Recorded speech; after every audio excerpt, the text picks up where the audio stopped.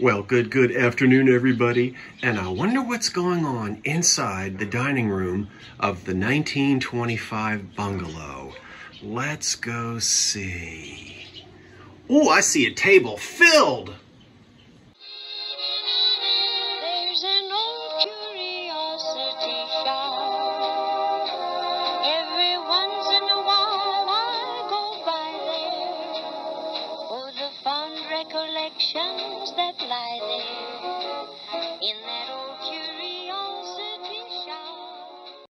Now that's a table filled with beautiful glass and pottery. And it's all for sale right now in the old curiosity shop. That's the eBay store. Now I've been selling on eBay for 25 years. Indeed, almost half of my life. My goodness. Yep, been there for a long time. And you can find the store. I'll put the link in the description box below. And everything runs, almost everything runs as a seven day auction. Now remember, depending on when you watch this video and when you go to the eBay store, some things might end up having already been sold. But at this moment, right now, it's all available. And as I've always said, you can subscribe to the eBay store. There's something in there that you click somewhere, and they'll send you a notification every day when new items are listed. And if you don't want the notification, you can turn it off. Boy, don't we wish we could turn off that time to update the warranty on your used car thing? Well, I don't know how to do that, but you have control over what you get from the eBay store. Just don't want you to miss out. Okay, better pictures, full descriptions, blah, blah, blah. That's all in the listings. So we'll go quickly here because there's something else I want to do at the end of this video. Now, don't you fast forward, okay? I'm going to know if you did. No, I don't know if you did, but uh, please don't do that. I want you to watch this. Two pheasants made in California by Maddox of California. They are sweet and they are proud, ready for your mantle. Or, hey, I'd put these on a dining room table and put, I don't know, an arrangement around them. There's the Maddox of California stamp or embossed signature on the bottom. No cracks, no repairs, no breaks and we only have uh, there's one tiny little pinprick of a of a nick right there in his glaze. And I think this little dude over here uh, or maybe it was this one somebody got busy pecking where they weren't supposed to be. And there's just a little tiny nip off the end of his nose. I think it's that one. I mean it's so tiny it's more felt than seen. but no repairs done on those. They probably date to the 1950, late 1950s the Pyrex striped bowl is in the shop as well. Don't need to do much explanation on that. This piece over here, I think is Victorian era, although you saw color combinations like this again in the 50s, but the way the gold was done was a little bit different, and the porcelain quality on this is just so good. Look at that. Now, the only thing on the bottom is a number seven. There are no chips or cracks on this at all. It's a good size, and I suppose that could be some type of a candy dish if you'd like it to be. Scalloped edges. But wow, look who steals the show. It's the Paden City Glass Company, somewhere in West Virginia. I guess in Paden City.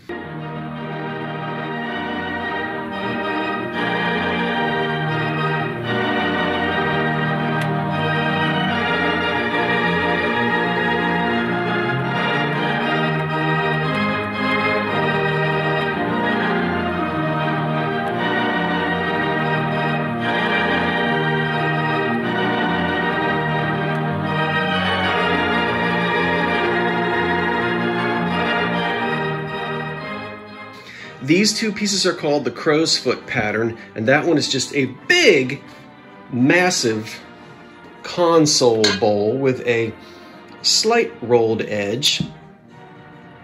You can see that that's a nine inch span on my hand right there, so this is a good probably 13 inches across. Paden City, I believe, if I remember, went out of business in the 1950s, so this is all 1930s and 40s era glass. They were known for their rich red color. Red was expensive. They were using gold to make red I know Anchor Hocking figured out how to do it without using any gold in the late 30s when they produced their Royal Ruby Red.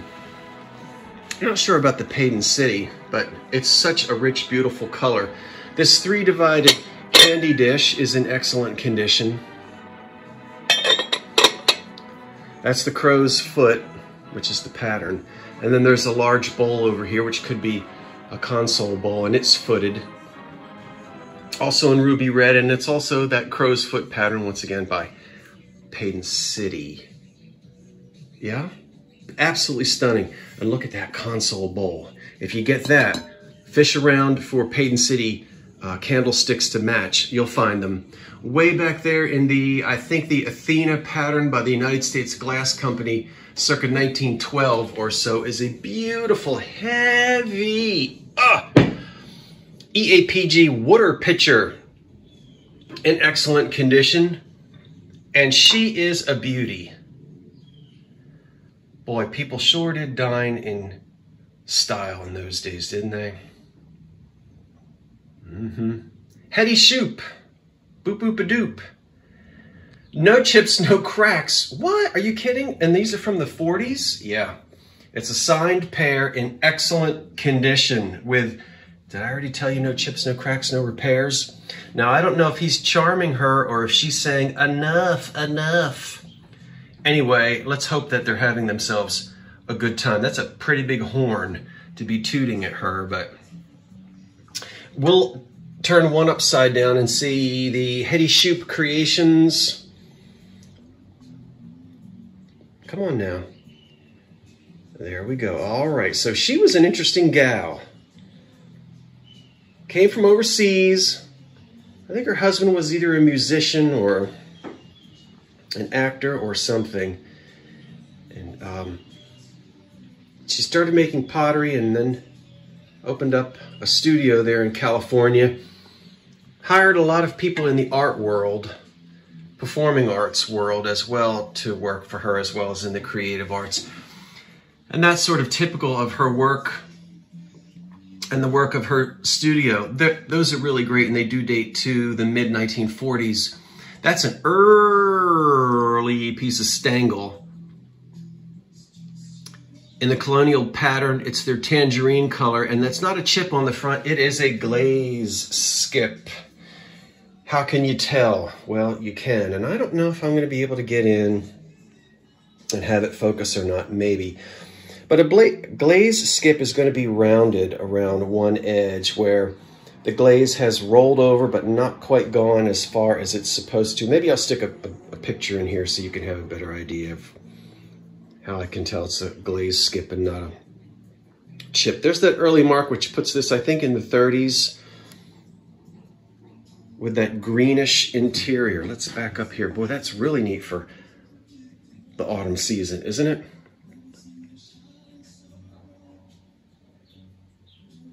That's just beautiful. So there are no chips or cracks, and other than that glaze skip right there, it's in super condition. Stangl pottery made just about 60 miles north of me in Trenton, Trenton, New Jersey, years ago. Back there is the Westmoreland Thousand Island, Thousand Eye, Thousand Island. That's salad dressing. Console set, big old console bowl, and two matching candlesticks, double light candlesticks. So, ooh, you're going to get four candles. Thousand eye. You ought to see when the light shines through this. All of these little bubbles put, uh, see, just barely see it. Let me see if I can get my light. There we go. There, look at that. See how it does that? So if you have an overhanging uh, light fixture over your dining room table, look how that's just going to be sweet, sweet, sweet. We'll pull this light back in a little bit. Uh, one of the candlesticks has its foil label still on it, which says Westmoreland glass. I really like these. I just call them sort of like flying buttress. It's almost like frozen waterfall, frozen water fountain, wings sticking off of the edge. Fenton did a lot of that too, but I like the two of them, and there they are. Probably the most exciting thing. And have you ever heard me say rare? It's very rare. people throw the word rare and they throw the word vintage in front of almost every one of their eBay listings. If you don't believe me, go check it out. But very few things are rare. I'll say rare and slash hard to find because, well, I just don't think there are a lot of them out there. Fran Taylor, gay fad, 1940s. She really pushed the envelope with mid-century barware.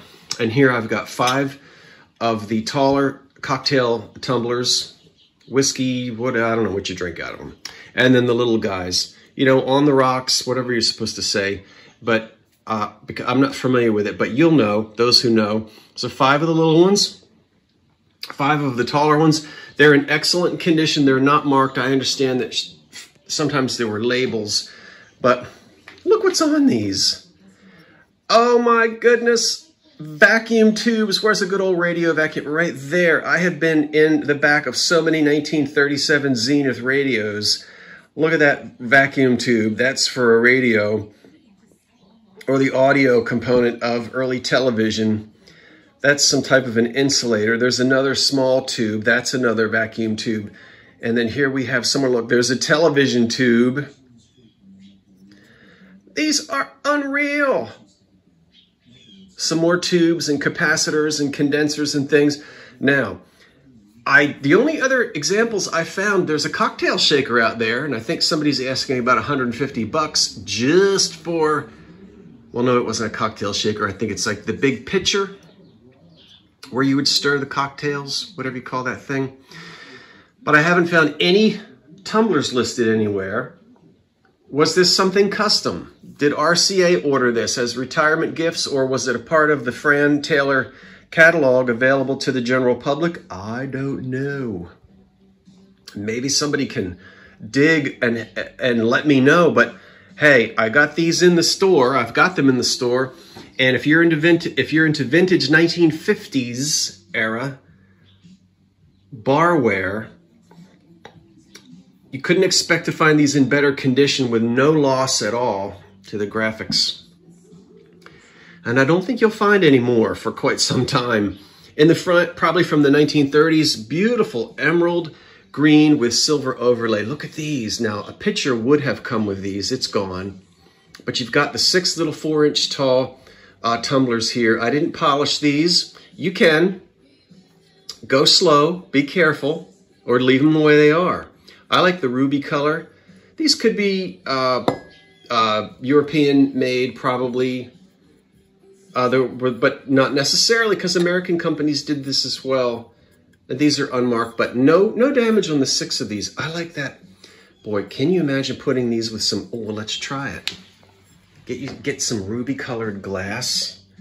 Look, I know you don't stick a tumbler in the middle of a console bowl like that, but Christmas time, mm-hmm, or any time. And then down in the front here, a wonderful survivor. I believe this is a Bryce Brothers covered uh, butter. I think the pattern is called Lorne, but I might not be remembering that correctly. But I think we're back into the 1880s or 90s with this. Remember, this dates to about 1910, 11, 12. That's sort of Edwardian over there, the U.S. glass piece. And then this pattern glass here uh, is undamaged. Now, 120 years old, 130 years old, 135 years old, and there's not a chip on it. The liner or underplate is connected to the bowl. See there? It's just fantastic. I guess it's I guess it's for um, I guess it's a covered butter. It's not the traditional shape of a covered butter. But I know, I know that butter came in, um, people in those days had homemade butter and it didn't come in a stick or a big clump. Rather, it's oftentimes it did come in a clump. And remember a lot, um, So depending on where you got your butter, whether you made your own or not in the 1880s, it might have just been plopped in there. I think that's butter. So we'll put the lid back on the top. It's beautiful table glass. And, uh, and now let me back up, stand back up. Okay, you see, I don't save all the good stuff for the live sales. And as I promised, I'm putting two to three items in the eBay store every other day and sometimes I'm listing something every day. So it's great to be back, really working on that eBay store. I love doing it, and I appreciate all of the eBay uh, customers as well as, as well as live sale customers. Appreciate that so much. Okay, um, I'm going to do something else with you in just a second, but while I'm talking about it, let me remind you, I'll see you Monday night. I don't normally do a live sale on the last Monday night, but I've got some more autumn glass to sell. And so we're going to do that Monday night, the last Monday of September. And then I think the first live sale in October, I'll be in another location. Surprise, surprise. So I'll be, we're still going to have live sales throughout the month of October. Uh, so, all right, now I told you I was going to do something else. Let's go do it. Well, just before we leave today, I want you to see the beautiful jewel tones of some lovely stretch glass pieces, two of which I've had, and the third one I just bought um, in an antique store here in South Jersey.